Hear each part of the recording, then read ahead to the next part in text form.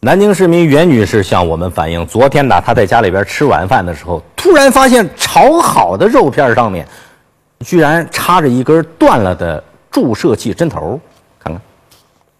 袁女士说，这块猪肉是她昨天早上在竹山路农贸市场雨润专柜买的，烧好后端上桌子，针头才被发现，这根针头已经断裂，大概有三四厘米长。当时就是我们吃完饭了，然后我就收拾这个菜嘛，然后就在菜那个肉里面就发现一根像钢丝状的东西，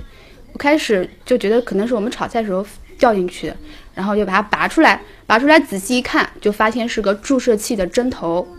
肉是袁女士婆婆切的，老人眼花看不太清楚，当时以为切到了猪骨头，也没太在意。现在想起来，全家都觉得很后怕。就觉得很很恐怖，这要是只要是吃到嘴里，肯定会这么长一根针头，肯定会扎到嘴。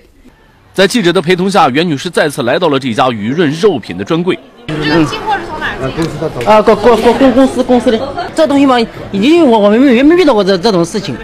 袁女士买的肉是梅花肉，就是猪的上肩胛部分。专柜老板认为，这根针头很可能是养殖户给猪打防疫针时断在肉里的。梅花肉主要是那脖子那块，脖子那一块。啊，夹心肉那都不是那块，他跟打针，打针就打的那个地方，我一般打针都打那个地方。专柜老板赔偿了袁女士一块新的梅花肉，并且承诺会把事情反映给公司，搞清楚针头的来源。